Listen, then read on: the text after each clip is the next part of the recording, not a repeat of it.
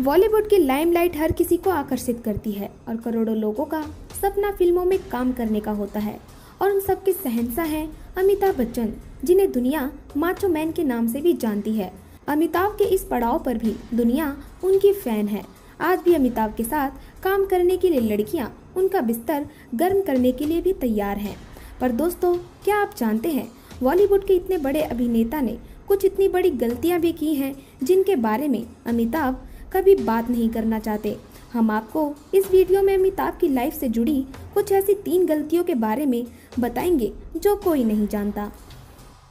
D grade की फ़िल्में करना। अमिताभ ने अपने फिल्मी करियर में गंदी फ़िल्मों में भी काम किया है। इसके बाद उनके फ़ैन उनसे काफ़ी नाराज़ हो गए थे। ऐसी बोल्ड फ़िल्में करने पर अमिताभ को आज भी पछतावा होता है। फ़िल्म निस्बत में अमिताभ ने अपने से आधी उम्र की लड़की के साथ ऐसे बोल्ड सीन दिए थे और बेहद गंदे डायलॉग बोले थे।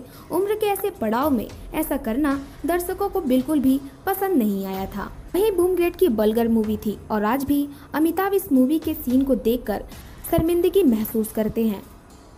अमिताभ का राजनीति में आना, राजनीति में आना अमिताभ की सबसे बड़ी भूल थी, जिसे वो खुद भी स्वीकार करते हैं।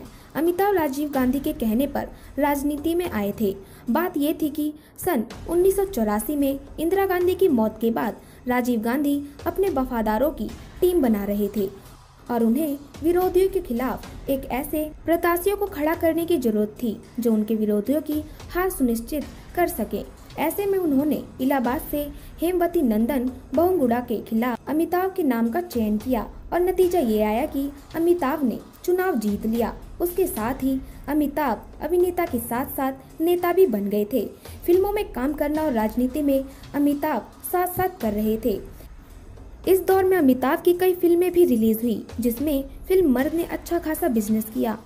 फ़िल्मों में ज़्यादा काम होने के कारण अमिताभ राजनीति से दूर हो गए, जिसका नुकसान उन्हें बाद में झेलना पड़ा, जिसमें पांडु घोटाले में को घसीटा गया। अमिताभ ये दबाव झेल नहीं पाए और उन्होंने राजनीति से संन्यास ले लिया।